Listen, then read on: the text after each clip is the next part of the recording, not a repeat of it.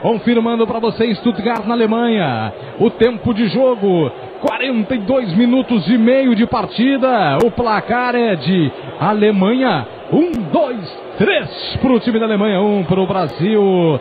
Matheus, uh, Matheus. Segundo gol da Itália. Segundo gol da Itália vai vencer a Espanha por 2 a 1 Isso rede Band Satsu, tá aí o Matheus Trindade, é. a mil pelo Brasil.